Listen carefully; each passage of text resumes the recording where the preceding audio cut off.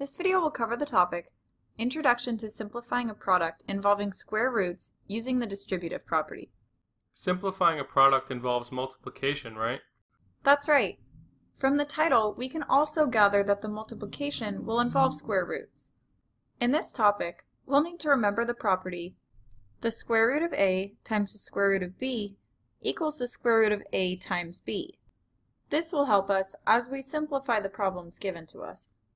So what kind of problems will we see in this topic? Let's look at an example problem. Square root of 3 times the quantity square root of 5 minus 8. Our first step is to distribute the square root of 3 to each term in the parentheses. So we multiply the square root of 5 times the square root of 3, and we multiply negative 8 times the square root of 3.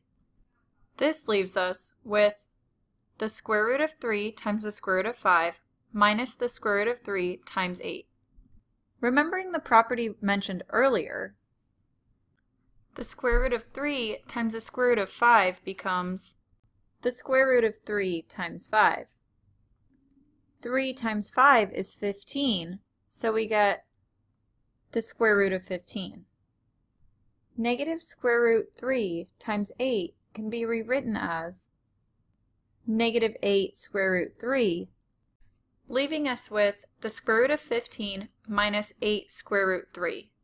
Note that the square root of 15 is in simplified radical form because 15 has no perfect square factors other than 1. Similarly, the square root of 3 is also in simplified radical form because 3 has no perfect square factors other than 1. Why don't you try the next problem?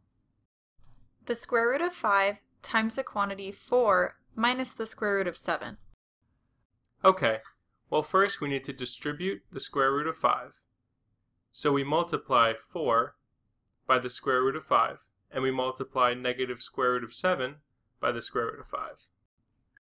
That leaves us with 4 times the square root of 5, and negative square root of 7 times the square root of 5. Simplifying, we get 4 square root 5 minus the square root of 35, because 7 times 5 equals 35.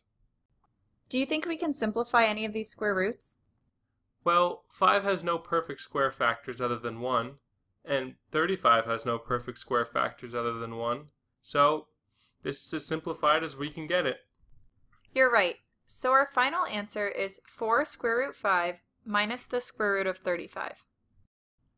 Okay, so to simplify a product involving square roots, we first distribute the square root expression outside the parentheses to each of the terms inside the parentheses.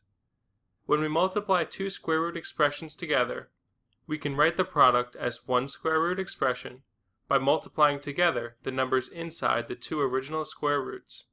Great work. It seems like you're getting the hang of this topic.